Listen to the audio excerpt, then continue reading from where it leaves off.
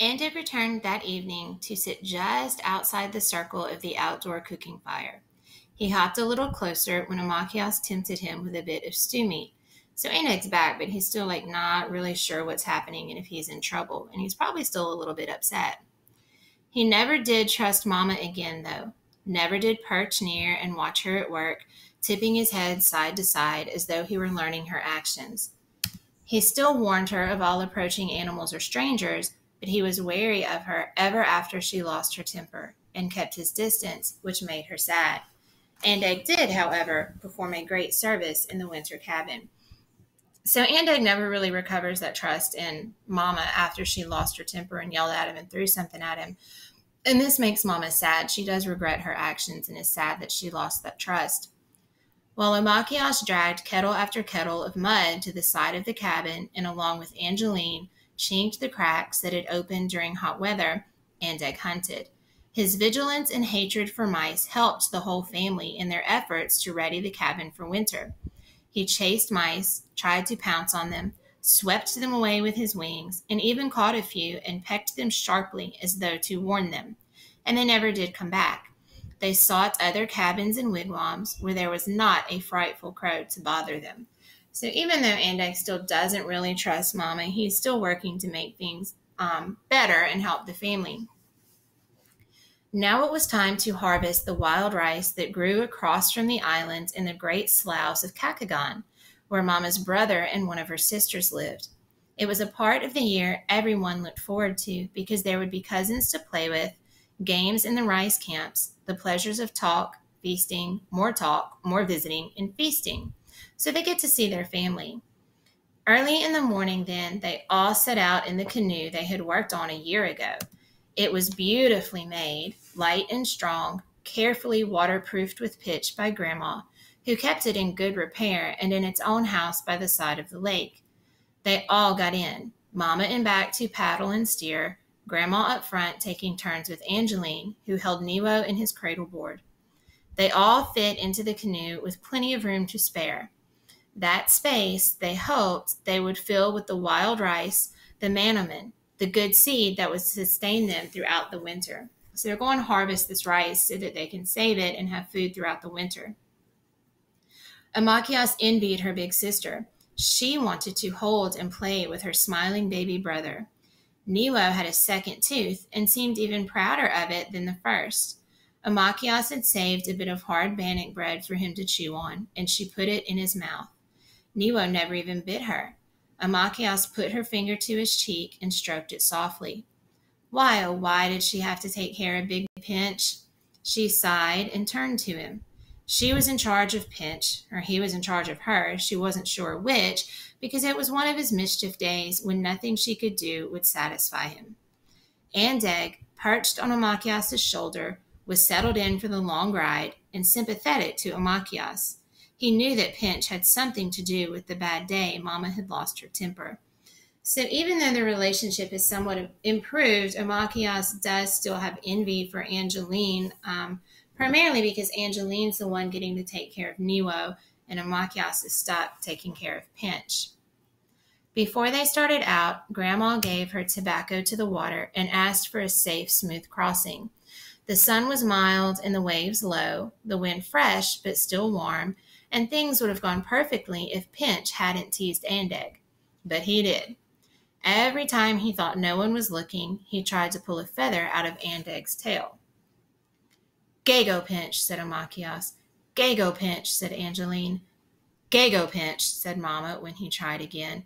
Gago Pinch, said Grandma wearily. Gago pinch, said Omakayas again.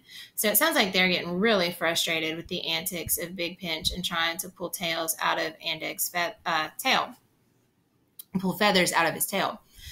They must have said it more times as they traveled the lake than there were waves or fish alongside of them. They said it so many times they didn't hear themselves anymore. Stop it, Pinch. Gago Pinch. Stop it. Stop. Same as when they said it on shore Pinch didn't hear it. He just kept trying to pull a feather. Finally, Pinch got a hold of the black tip of Andeg's pride and joy, his tail. Gago, Pinch! Everyone gasped. This time it was Andeg who spoke. Terrified at the crow's harsh croak, Pinch nearly threw himself out of the canoe, nearly tipped them all over in his panic to get to Mamma, who yelled, of course, Gago Pinch, causing Andeg to flap his wings and say again, Gago Pinch, which made Pinch cry, an embarrassment he never quite got over.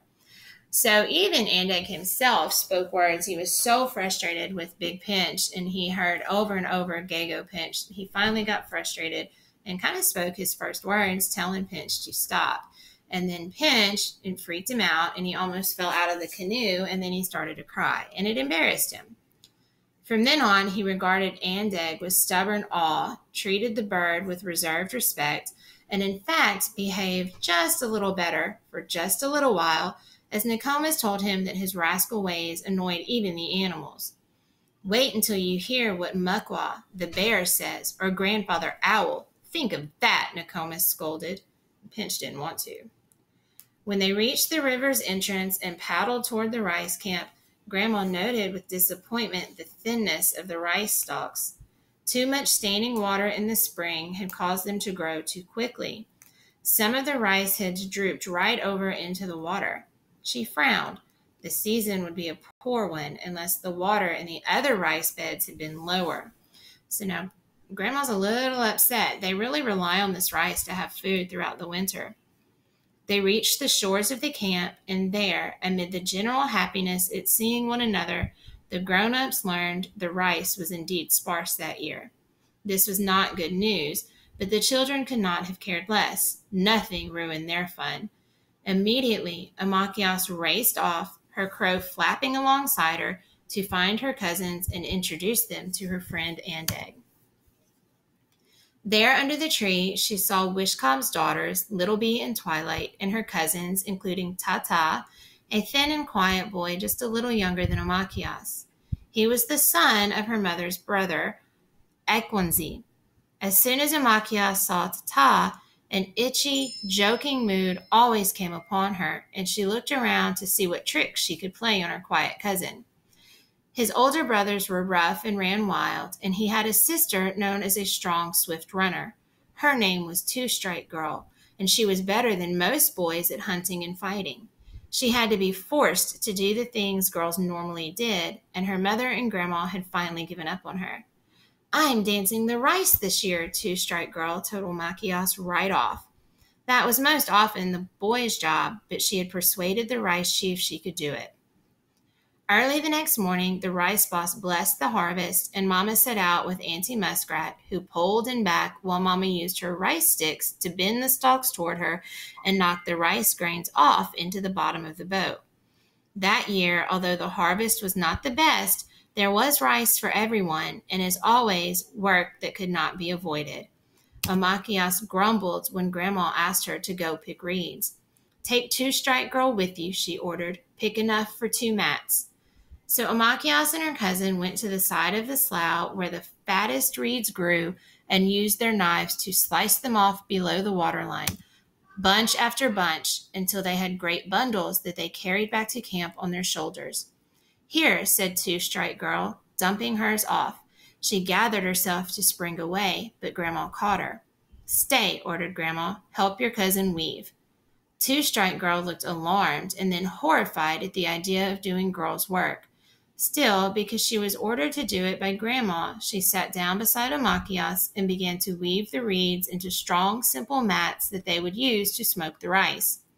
Even now, the great fire Mamma had prepared was burning down to its embers, and as the girl's fingers moved unwillingly, Pinch was just as unwillingly gathering up rotten old pieces of maple wood to use in smoking the rice. When he had gathered several sagging piles of the crumbly maple wood, and when the mats were finished, Omakayas is regular and straight in its weave, and two striped girls crooked and gaping, Mamma took the mats and set them over the smoking maple fire.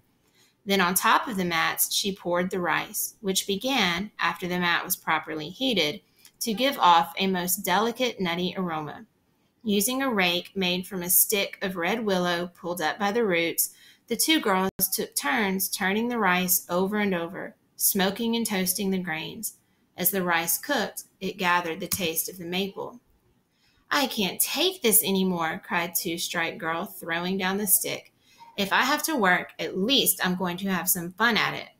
Running over to a bark lined pit in the ground, she jumped in and began treading rice with a frantic pace that made everyone around her laugh. It was the sight of the impatient two strike girl dancing the rice that Omakayas would remember long after, in the deep winter of the year. Her face was flushed and thrilled with effort. She was tireless, all day and the next, Two Strike's legs moved up and down. Her feet in clean new moccasins crushed the tough holes. She never stopped. And all the time her eyes were shining, her white teeth set in a huge grin. Andeg danced up and down with her on a limb above. Come help me, she called to Omakayas. Jumping to help her cousin, Omakayas felt as proud and bold.